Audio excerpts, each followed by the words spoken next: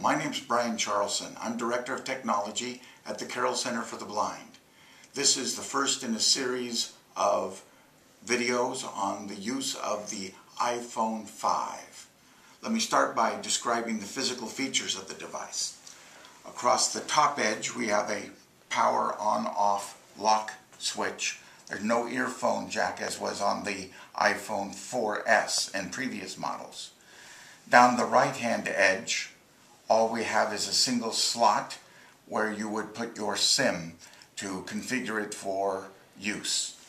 On the left hand side we have the mute button, two position switch, forward for mute off, back for mute on, then volume up and volume down.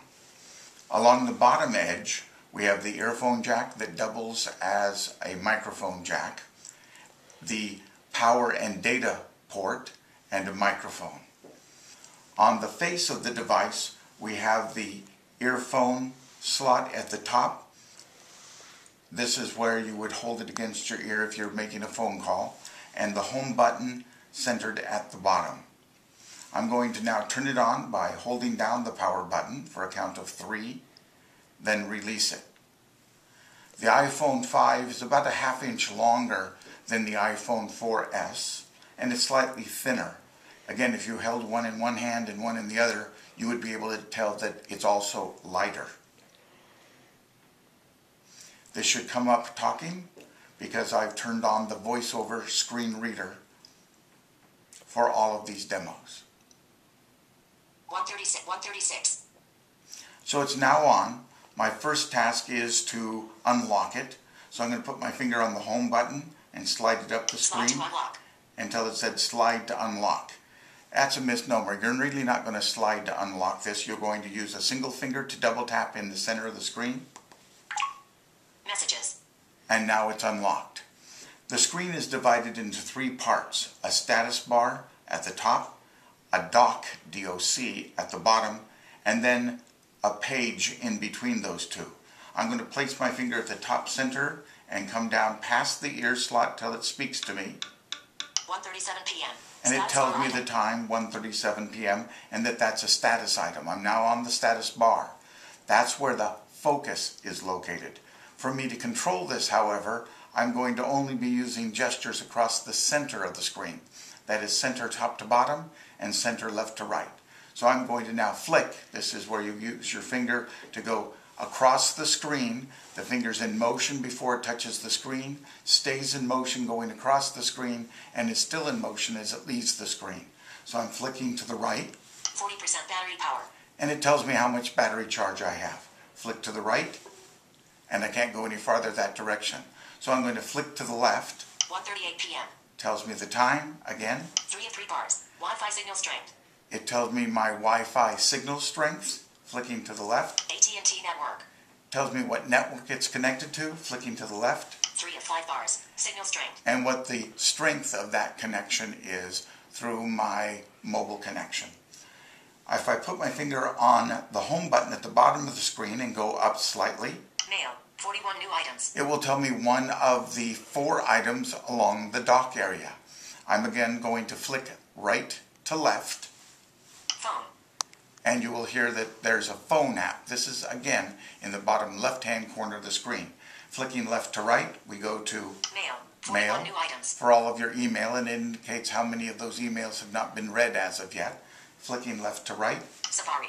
Safari, which is the name of your browser when doing web browsing. Flicking left to right, Music.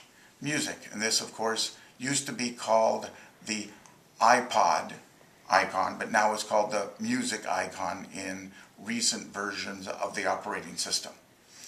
Now, when I want to navigate around the center of the screen called the page, I place my finger in the center of the screen for a moment Where's MBTA? and it lands on one of the screen icons. I'm going to flick left or right to left until I get to the topmost icon. Flicking Flight track reminders. Single tap. Dropbox. App Store. Twitter. Facebook. LinkedIn. Messages. Till I got to the top and I heard that bonk noise, which indicates I can't go any farther in that direction.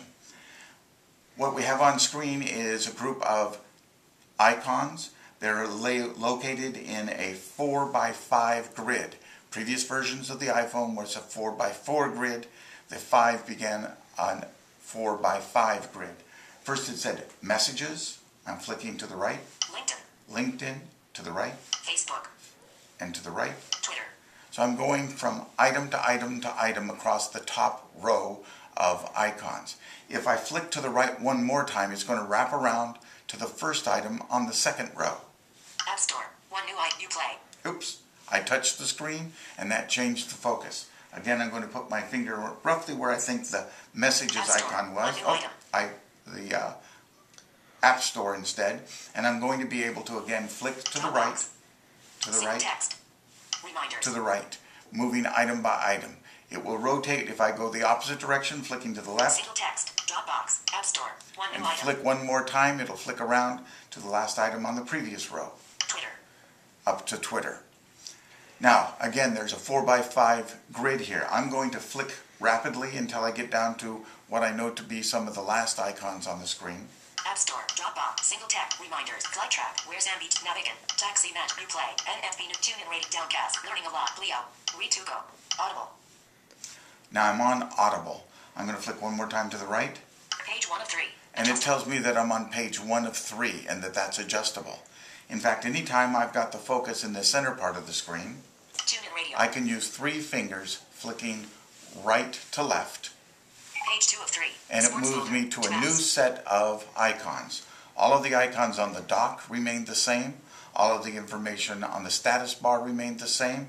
It's just this center part of the screen where a new set of icons is being displayed. In the case of my iPhone, I've set these up so that they are folders. Text reading folder, two apps, So these are folders such as you would experience on a Macintosh or on a Windows-based computer that contain other items. I've divided up additional applications in these folders. Otherwise, I would have 10 to 15 different screens full of icons.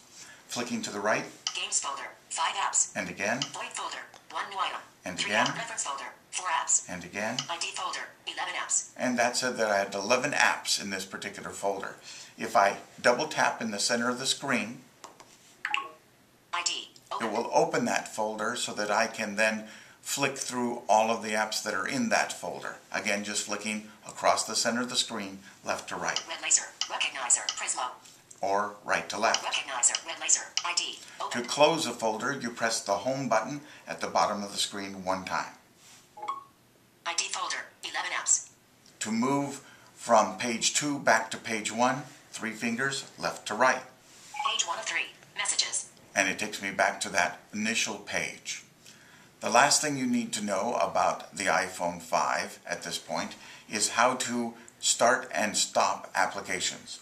If I flick LinkedIn, Facebook, Twitter, and stop on a particular icon, I double tap. Now, directions will say double tap on the icon. That's not the case when you're using VoiceOver. You double tap in the center of the screen.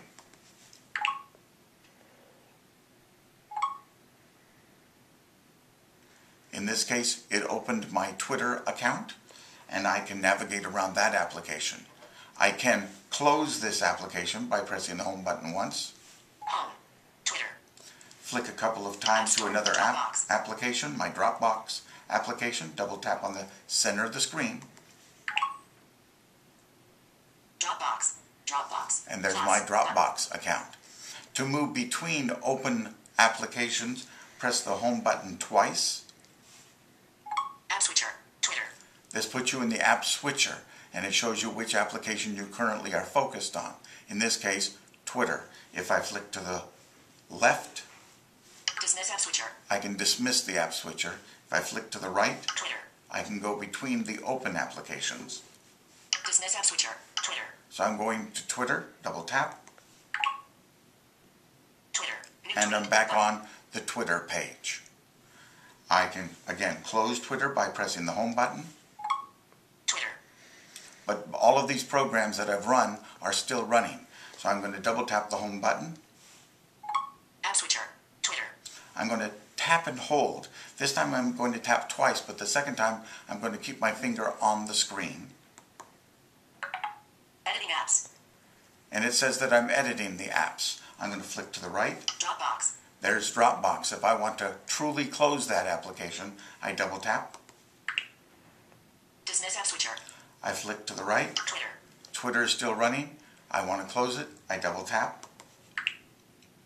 App switcher has no items. App Switcher tells me I have no more items, so I'll flick left Dismiss app switcher. and double tap to close it. Dis- messages. Again, if I want to lock this so that I don't accidentally execute some program, I press the power button one time Screen locked. and the screen is locked. That concludes this demonstration of the Apple iPhone 5.